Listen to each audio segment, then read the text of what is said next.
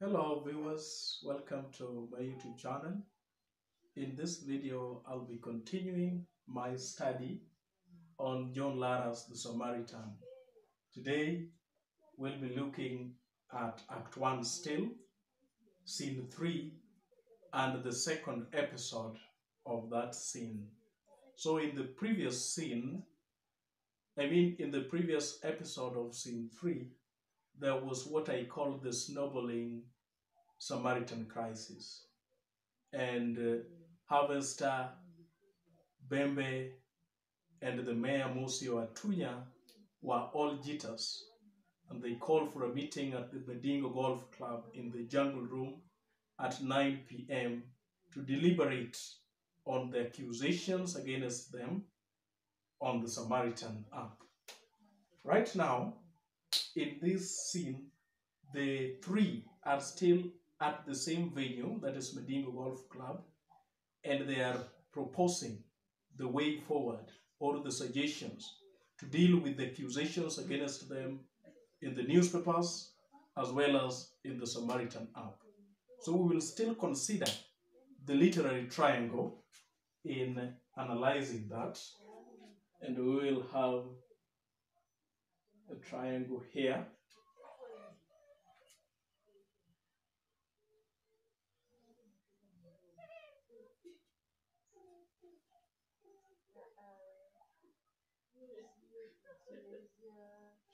So just as always, we have characterization at the top.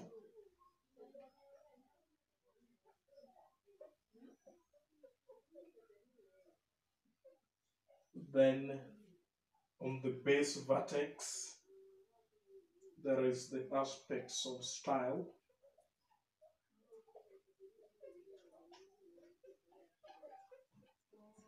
Then the themes here, or the thematic concerns.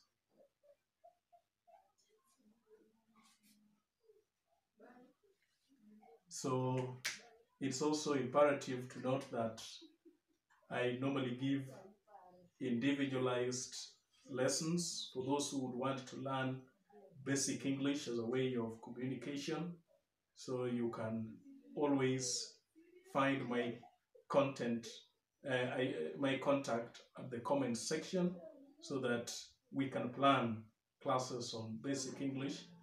Those who are also preparing for KCSE exams, I am also there to guide and mentor for better grades. So you can also note that. So the basically the plot is that uh, the trio Bembe, Harvest, and Mosi are still giving suggestions on the way forward. And the first one, Mosi suggests doing a press conference.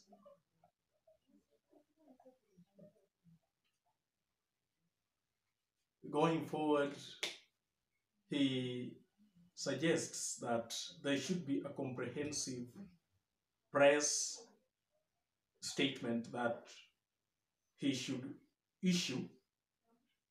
And in the press conference they are to deny the fact that they did not give prizes to Alvita and Montano during the Samaritan app launch at Sagrada Secondary School. So, apart from that, the statement to be given should also counter allegations, especially on corruption that have been leveled against them. And then there should also be some points on cyberbullying and the concern on the spy software, and that ought to justify the fact that he ordered their ICT officer to ban the Samaritan app. And uh, that quite tells us something about Mosi. And it tells us that Mosi is deceitful. he is dishonest. Because in the statement, they are to deny having refused to award prizes to Alvita and Montano, and they are denying a fact. So that is dishonesty or deceit. So, another suggestion is also being given by Bembe. And Bembe is kind of suggesting force. He suggests that they should use force and that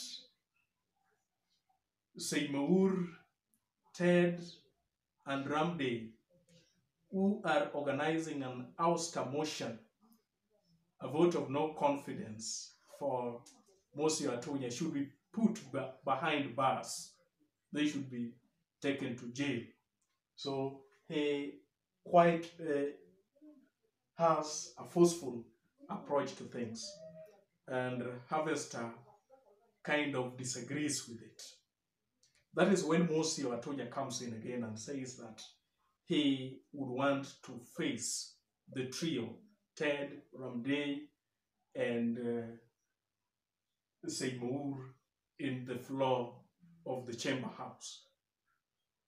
Something that uh, Harvester is quite keen that he shouldn't do because the aldermen and the ward representatives could easily be influenced by the deputy mayor Ramdaye. Then comes another suggestion that Bembe and Mosi share. Uh, Mosi Atunya intends to use his Red Eagle network, a kind of a militia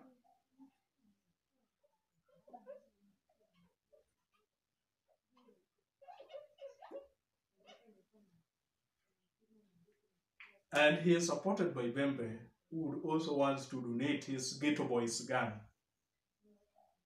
And they, their specific role is to ensure that the chamber house where the vote of no confidence should take place is a no-go zone. So that brings out Mosi as violent. Imagine a mayor who has the control of the police, the police who should enforce law and order, and he resorts to using a violent gun. And that brings about the theme of violence.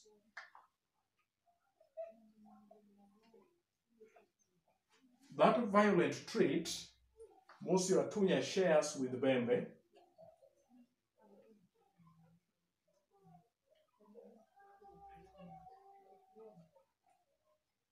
Who is going to be kind enough to add his Ghetto Boys gang as well as the undercover police to engage in that kind of operation. Again, apart from using the Red Eagle network, there is the abuse of office that has been seen here. When Mosio Atunya, the mayor, instructs Harvester that he's going to send the leader of his gang, Blackman,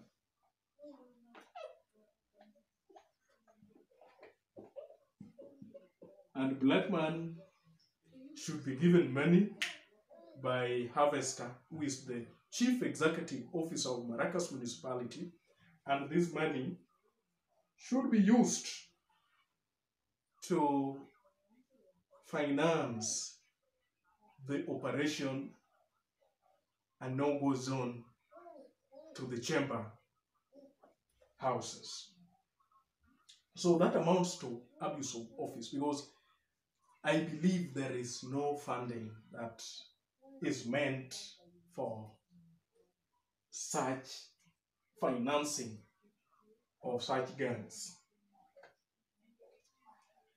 With the vote of no confidence, the fight against the vote of no confidence won in their minds, the focus now shifts to fighting the Samaritan up. And in fighting the Samaritan up, the mayor Musi Atunya has offered to go and visit Nicole, who is the ethics and innovation teacher at Sagrada Secondary School, and who the municipal officials believe that has the Samaritan app. Number two, Bembe, the Inspector General of Police, has also offered that should such a mission fail, that he has ways of always compelling people to do as he wishes. And that brings us to blackmail, a theme of blackmail.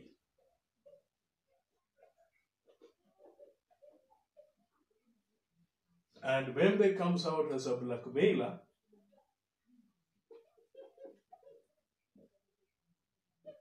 as well as malicious. Because he says that he is keen on pinning Nicole down.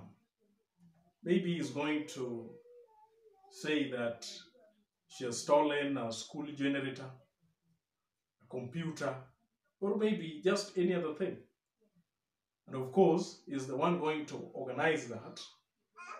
But this is going to use, he is going to use this to put Nicole on the line with the hope of raining on her to rescind whatever allegations or accusations, or maybe to filter the word that they use to filter the information about them on the Samaritan app. Again, Harvester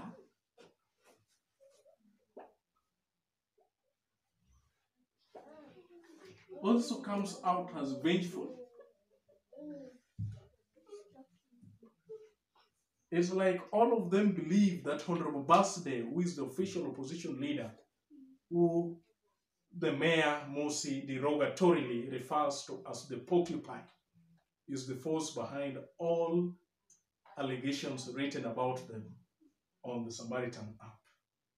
He therefore suggests that there should be some maligning information, damaging information that should be written about uh, to control him. And that is the same thing that the trio would also want to do for Ian Jaden, who is the principal judge.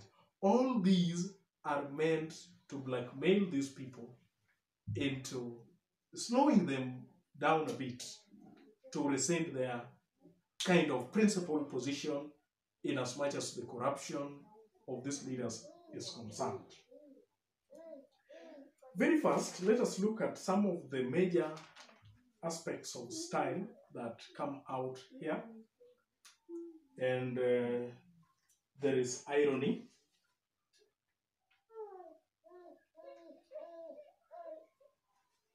It is ironical that uh, a skeptical Mosi Oatunya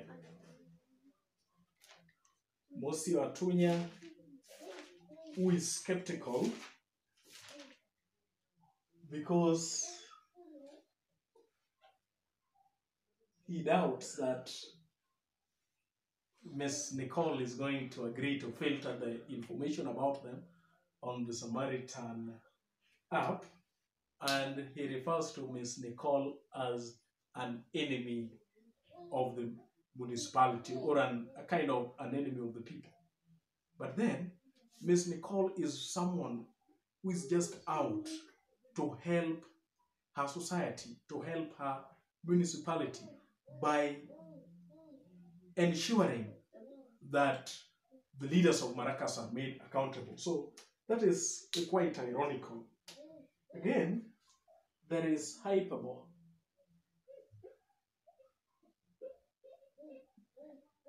Or exaggeration.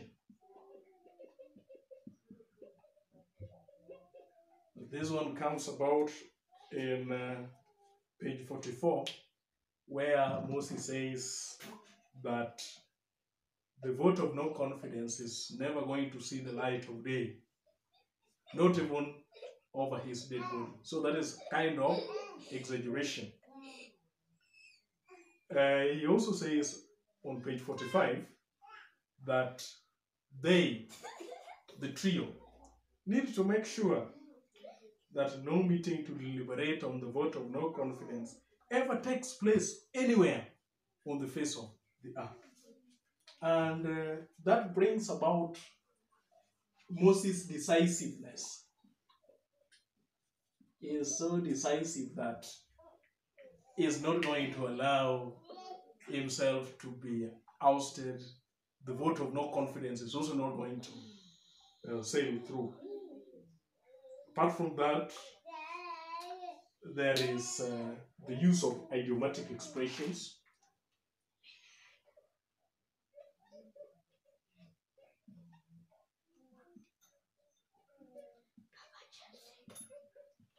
And there are quite a lot of them. Like on page 47, the plan that they have to stop the vote of no confidence, they say that Seymour, Ted, and Ramdaye are going to be put behind bars. So to put someone behind bars, that is an idiom to mean, to mean that they are going to be jailed. On page 47, they say that in doing that, they are going to kill two birds with one stone. That is on page 47 to mean that by jailing those municipal leaders, they are going to achieve two things stop the vote of no confidence, and at the same time, they are going to appease the people that maybe an action of jailing some municipal leaders who are corrupt has been possible. Then on page 44, Mosi Watonya also says that the vote of no confidence is going to see no, it's not going to see the light of day. It is not going to exist. That is also an idiom. Then on page 48, the trio also say that Ian Jaden and Nicole are going to be put on the line. They're going to be put at risk using the backward blackmail tactics by Bembe. So there is quite a wide and varied use of idiomatic expressions. Apart from that, there are the themes of violence, abuse of office, blackmail, the ones that we found. Harvester also wants to revenge against Honorable Barksdale, bringing about the theme of vengeance. Then uh, there is also the theme of hypocrisy. And we use the irony to bring it out that Nicole, who has rallied Alvita and Montano to come up with this Samaritan app, which puts the Maracas municipality leaders to account, is the one being seen as an enemy of the people.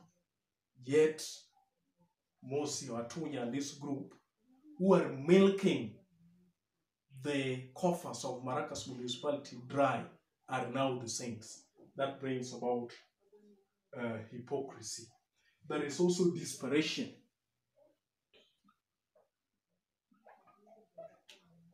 Through the blackmail tactics that these leaders resort to, it brings about their desperation to stop the vote of no confidence, and at the same time to fight the Samaritan up. So, viewers, basically, this is what forms part of Act 1, Scene 3, Episode 2 of this text, the Samaritan. The next time we meet, we are going to start looking at the second act, that is Act 2 of John Lara's The Samaritan. Thank you very much for watching. Until next time.